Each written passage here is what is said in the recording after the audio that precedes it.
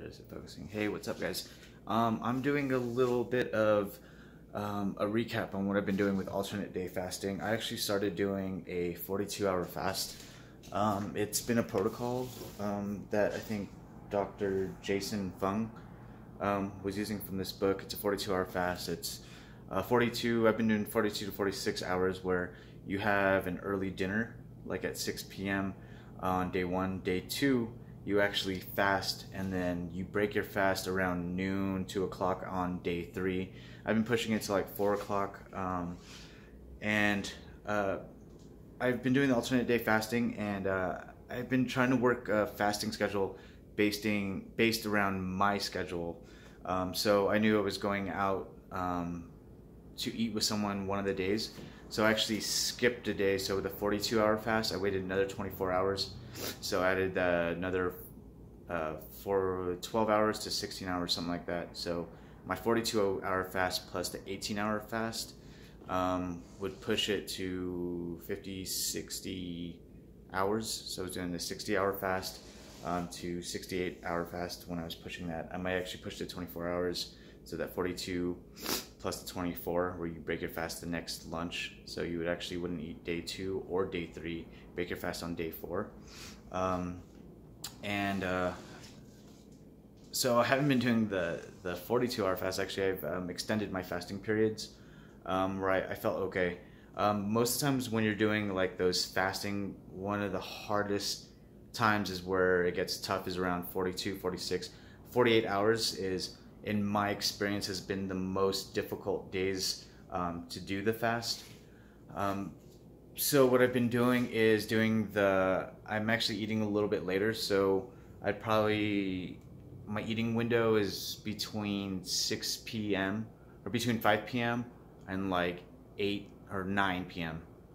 So that's like a nine hour, or uh, sorry, uh, five to, to nine, so it's a four hour window where I'd eat. So I, I stopped eating around nine o'clock last night, um, or maybe ten. I had some uh, macadamia nuts, and um, around ten maybe. So I'm gonna go. So that was day one, was yesterday, and then I'm starting another cycle. So day two I will not eat.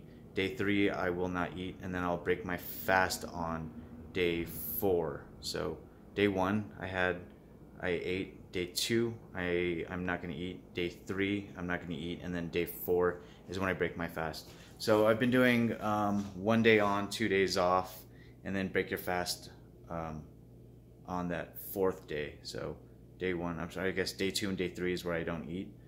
Um, and it's been interesting, man. Like once you get past that 48 hours, um, to me, 48 hours um, seems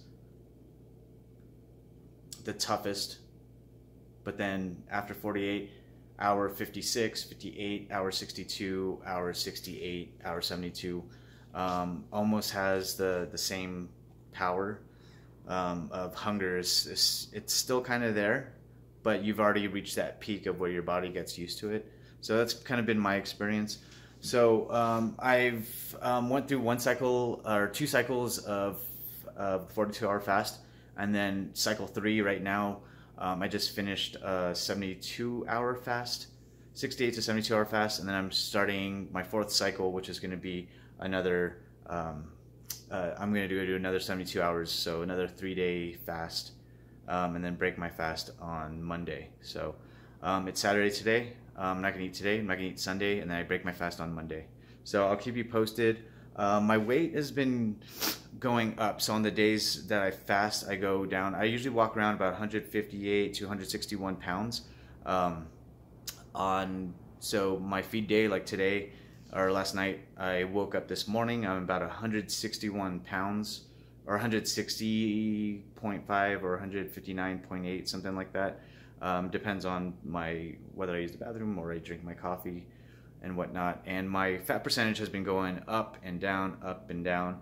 Um, I'm not sure how accurate my um, fat loss monitor is, but I was 11% the other day.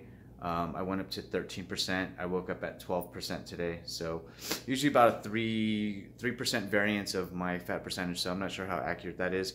Um, and it drives me crazy, but I've been just monitoring every day. Um, what I hope to do is to show where I'm at. I started out about 13.4%.